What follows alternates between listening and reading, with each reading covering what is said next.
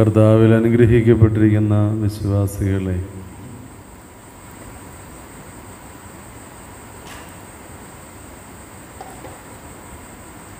പരിശുദ്ധമായ വലിയ നോമ്പിൽ പീഡാനുഭാഴ്ചയിൽ വലിയ വെള്ളിയാഴ്ച സന്ധ്യയിലേക്ക് നാം കടന്നു വന്നിരിക്കുകയാണ്. ഈ സന്ധ്യയിൽ ഒരു വചനം നിങ്ങൾ മുമ്പാകെ സമർപ്പിക്കുന്നത് വിശുദ്ധ ലൂക്കോസിന്റെ സുവിശേഷം ഇരുപത്തിരണ്ടാം അധ്യായം നാൽപ്പത്തി ഏഴാമത്തെ വാക്യം. അവൻ സംസാരിക്കുമ്പോൾ തന്നെ ഇതാ ഒരു പുരുഷാരം. പന്തിരുരിൽ ഒരുവനായി യൂത അവർക്ക് നടന്നു. യേശുവിനെ ചുംബിപ്പാൻ അടുത്തു വന്നു. യേശു അവനോട് യൂതായി മനുഷ്യപുത്രനെ ചുംബനം കൊണ്ടോ കാണിച്ചു കൊടുക്കുന്നത് എന്ന് പറഞ്ഞു. പശ്ചാത്തലമെല്ലാം നമുക്കറിയാം. പന്തിരൂരിൽ ഒരുവനായ യൂത സ്ലീഹ.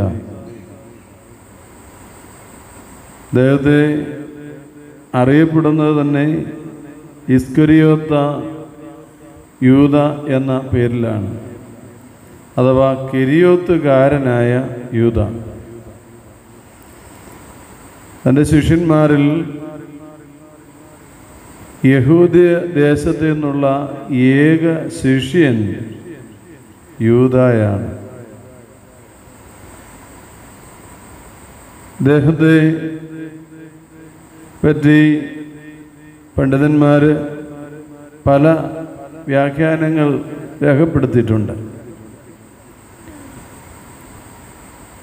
അരിമഥികാരൻ ജോസഫിന്റെ ചരിത്രം എന്ന് പറയുന്ന ഒരു അപ്പഗ്രിഫൽ ഗ്രന്ഥത്തിൽ അദ്ദേഹത്തെ പറ്റി പറയുന്നത് അദ്ദേഹം കയ്യാഭാവെന്ന മഹാപുരോഹിതന്റെ സഹോദരന പുത്രനായിരുന്നു എന്ന് അതിൽ ചിത്രീകരിക്കുന്നുണ്ട്.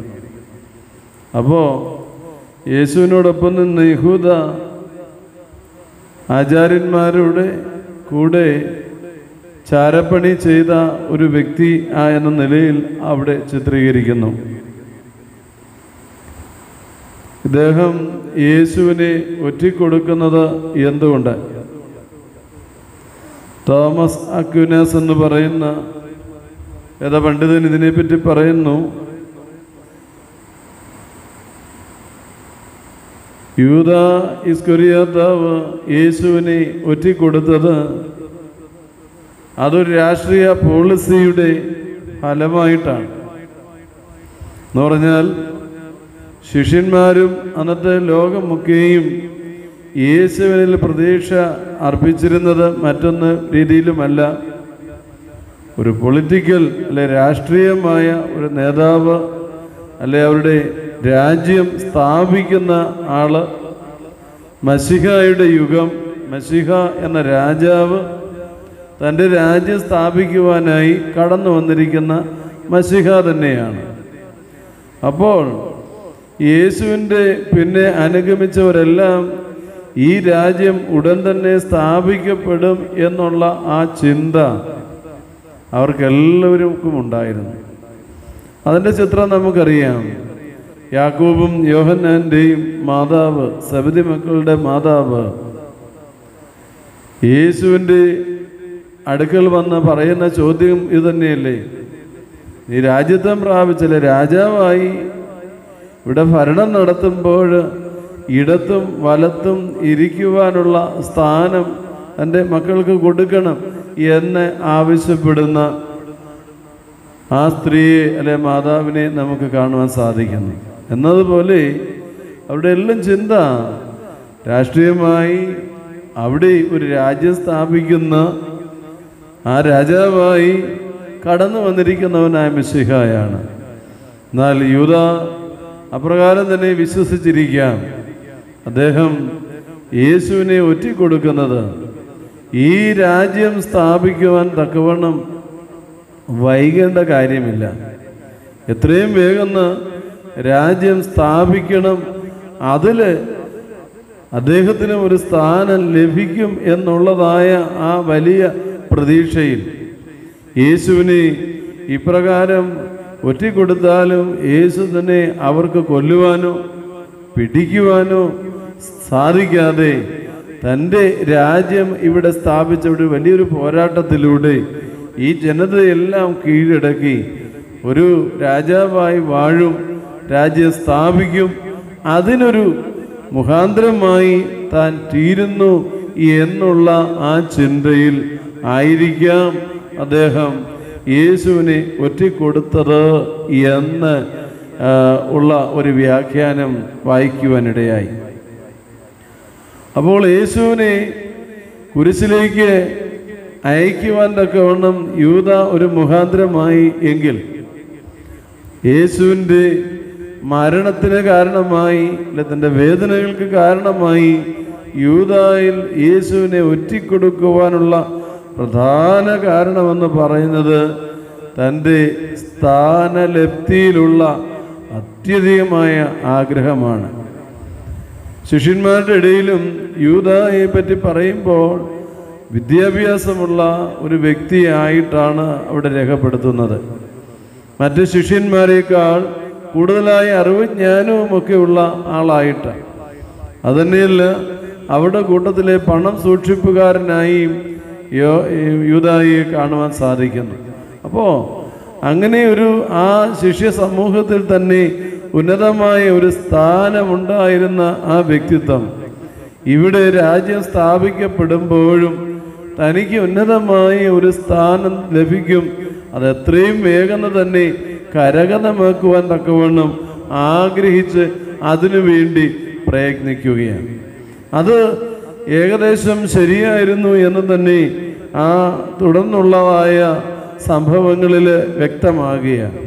അവൻ ഇപ്രകാരം സംഭവിച്ചു. യേശുവിനെ അവർ പിടിക്കപ്പെട്ടു മരണശിക്ഷയ്ക്ക് വിധിച്ചു എന്നറിഞ്ഞപ്പോൾ അവൻ ദുഃഖിതനായി അവൻ മഹാപുരോഹിതന്മാരുടെ അടുക്കൽ ചെന്ന് പറയുകയാണ് ഞാൻ കുറ്റമില്ലാത്ത രക്തത്തെ കാണിച്ചു കൊടുത്തതിനാൽ പാപം ചെയ്തു. അതുകൊണ്ട് അവർ അത് കൈവഴിഞ്ഞ് അവർ പറയുകയാണ് അത് നിന്റെ കാര്യം നീ തന്നെ നോക്കിക്കൊള്ളുക. ഞങ്ങൾക്ക് അതിന് പങ്കില്ല.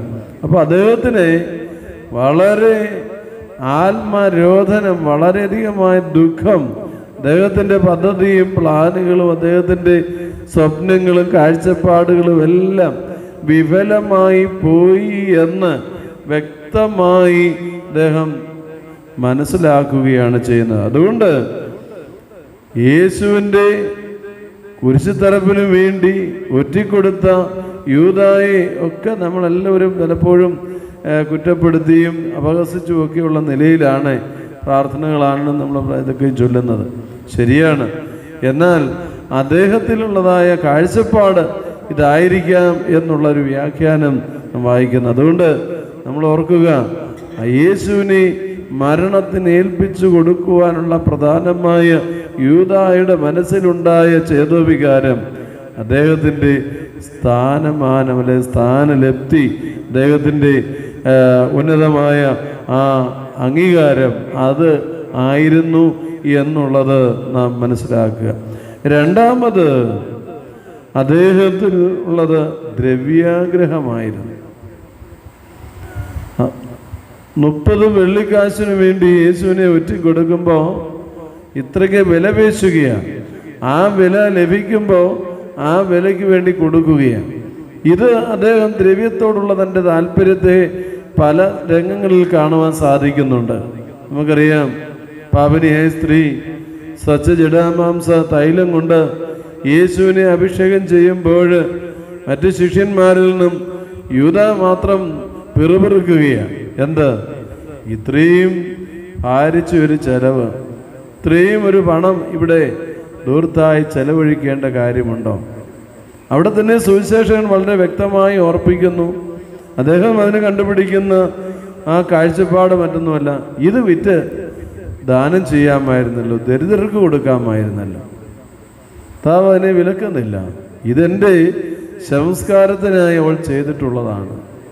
ആ അനുഷ്ഠാനങ്ങളെല്ലാം പൂർത്തീകരിക്കപ്പെടേണ്ടതാണ് എന്ന് കർത്താവ് പറയുക അവിടെ സുവിശേഷകൻ വളരെ വ്യക്തമായി പറയുന്നു അദ്ദേഹത്തിന് യൂതായിക്ക് ദരിദ്രരോടുള്ളതായ താല്പര്യത്തെക്കാൾ ഉപരി അദ്ദേഹം മടിശീല തന്റെ ആയതുകൊണ്ടും പണം തന്റെ ആയതുകൊണ്ടും ആ പണത്തോടുള്ള ആഗ്രഹം കൊണ്ടും ആണ് അദ്ദേഹം ഇപ്രകാരം പറഞ്ഞത് എന്ന് ഓർക്കുക.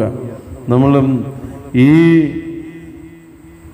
വലിയ വെള്ളിയാഴ്ചയിലേക്ക് കടന്നു വരുമ്പോൾ കർത്താവിനെ ക്രൂശിലേറ്റുവാൻ തക്കവണ്ണം എന്നിലും നിങ്ങളിലും യൂതായുടെ ജീവിതത്തിലെ വീഴ്ചയിൽ ഉണ്ടായ ആ തിക്തമായ അല്ലെ ബലഹീനതകൾ നമ്മളിലും ഉണ്ടാവുന്നുണ്ടോ എന്ന് നമ്മളൊന്ന് ആത്മശോധന ചെയ്യേണ്ടതാണ്.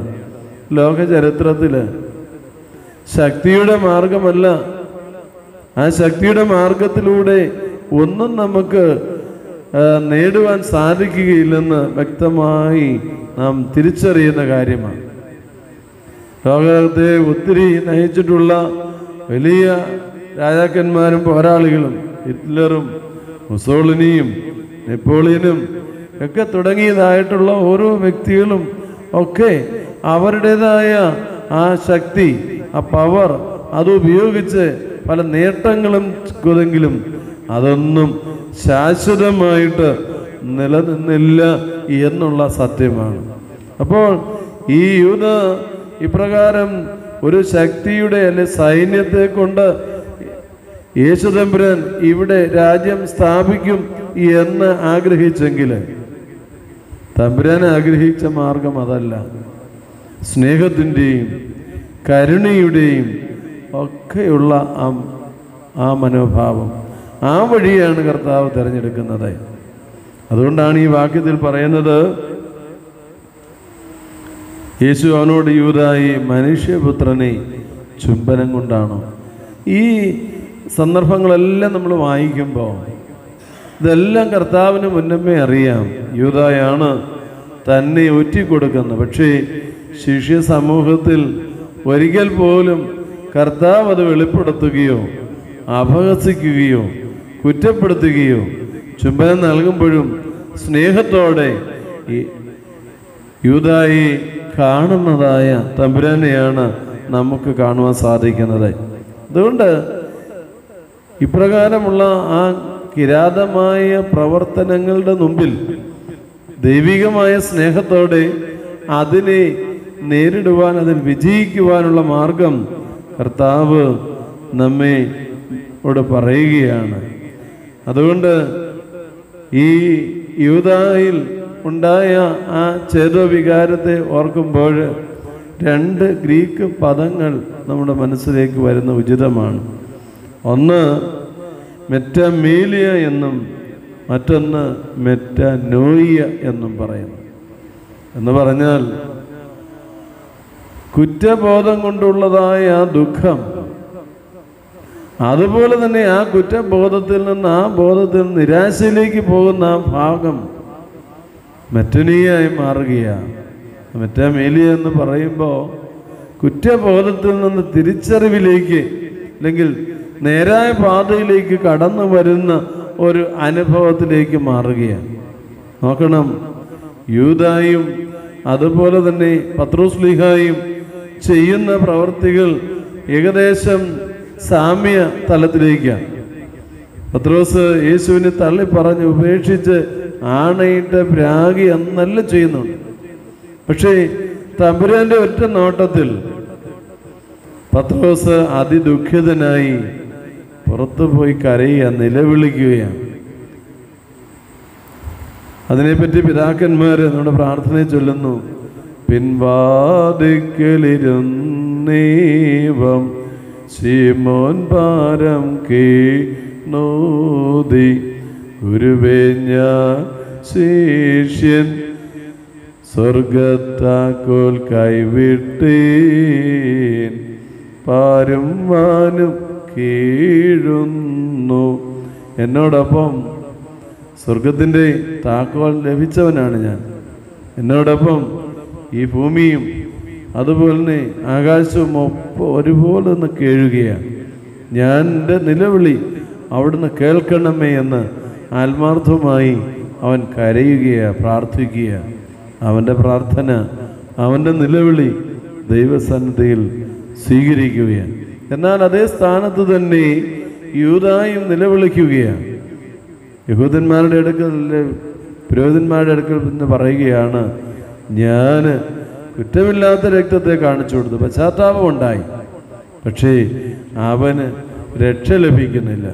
അവൻ നിരാശയിലേക്ക് പോവുകയാണ് പിശാജ് അവനെ പിടിരിക്കുകയാണ് അവൻ നാശത്തിലേക്ക് പോവുകയാണ് അതുകൊണ്ട് നമ്മുടെ ഈ ലോക ജീവിതത്തിൽ ഞാനും നിങ്ങളും തമ്പുരാനെ ഒറ്റിക്കൊടുക്കുന്ന തമ്പുരാനെ കുരിശിലേൽപ്പിക്കുന്ന പല സാഹചര്യങ്ങൾ എന്നിലും നിങ്ങളിലൂടെ വരികയാണ് യൂതായിൽ ഉണ്ടായ പ്രലോഭനങ്ങൾ നമ്മളിലുണ്ടാകും സ്ഥാനത്തിന് വേണ്ടി ദ്രവ്യത്തോടുള്ള താല്പര്യത്തിൽ യേശുവിന്റെ വചനങ്ങളെ ഉപേക്ഷിക്കുവാൻ യേശുവിന്റെ ആ തക്കതായ ആ ജീവിതചര്യയെ ഉപേക്ഷിക്കുവാൻ വിട്ടുവീഴ്ചകൾ ചെയ്യുവാൻ പലപ്പോഴും ഒക്കെ മനസ്സ് വ്യഗ്രതപ്പെടുന്നതായ തലങ്ങളിലേക്ക് പോകുമ്പോൾ യൂതായുടെ അതേ സ്ഥാനത്തേക്ക് നമ്മൾ എത്തുകയാണ്.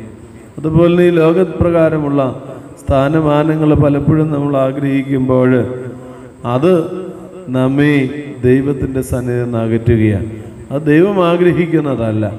മറിച്ച് സ്നേഹത്തിലൂടെയും ത്യാഗത്തിലൂടെയും താഴ്മയിലൂടെയും കരുതലിലൂടെയും കരുണയുടെയും ഒക്കെയുമായ മാർഗത്തിലൂടെ ക്രിസ്തുവിനോടൊപ്പം നിൽപ്പാൻ അവന്റെ കുരിശ് താങ്ങുവാൻ തക്കവണ്ണം എനിക്ക് നിങ്ങൾക്കും ഇടയാകണമെന്ന് ഓർപ്പിച്ചുകൊണ്ട് ഞാൻ എന്റെ വാക്കുകൾ ചുരുക്കുകയാണ്.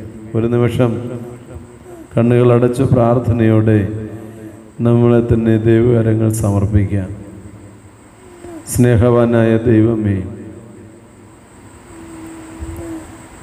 അങ്ങയുടെ പീഡാനുഭവത്തിന്റെ ദിവസങ്ങൾ ധ്യാനിക്കുമ്പോൾ ഞങ്ങളുടെ വ്യക്തി ജീവിതത്തിൽ നാഥ അവിടെ നിന്ന് കടന്നു വരണമേ. യൂതായെ പോലെ ദൈവരായത്തിന് അന്യന്മാരായി തീരാതെ. പത്രോസിനെ പോലെ അനുതാപത്താൽ ദൈവരാജ്യത്തിലേക്ക് പ്രവേശിപ്പാൻ ഞങ്ങളെ അവിടുന്ന് ഒരുക്കണമേ. ഞങ്ങളിലുള്ള കുറവുകളും ബലഹീനതകളും നാഥ അവിടുന്ന് അറിയുന്നല്ലോ. അവിടുന്ന് ഞങ്ങളോട് മനസ്സലിയണമേ. ഞങ്ങളുടെ കണ്ണുനീര് അവിടുത്തെ സന്നദ്ധിയിൽ സ്വീകാര്യയോഗ്യമായി അവിടുന്ന് അംഗീകരിക്കണമേ എന്ന് അങ്ങയോട് പ്രാർത്ഥിക്കുന്നു. അതാ ഞങ്ങൾ ഓർത്ത് പ്രാർത്ഥിപ്പാൻ കടപ്പെട്ടിരിക്കുന്ന എല്ലാ ആവശ്യങ്ങളെയും വ്യക്തികളെയും അവിടുത്തെ സന്നദ്ധിയിൽ സമർപ്പിക്കുക. ഞങ്ങളുടെ ഈ പ്രാർത്ഥനകളും ജാഗരണങ്ങളും നോമ്പുകളും അനുഷ്ഠാനങ്ങളും അവിടുത്തെ സ്വർഗീയ സിംഹാസനത്തിന് മുമ്പാകെ കേൾക്കപ്പെട്ടതും അംഗീകരിക്കപ്പെട്ടതുമാക്കി തീർക്കണമേ. ആയത് ഞങ്ങൾ നിന്നെയും പിതാവിനെയും പരിശുദ്ധാത്മാവിനെയും എന്നാളും സ്തുതിപ്പാനായിട്ട് തന്നെ. ആമീൻ.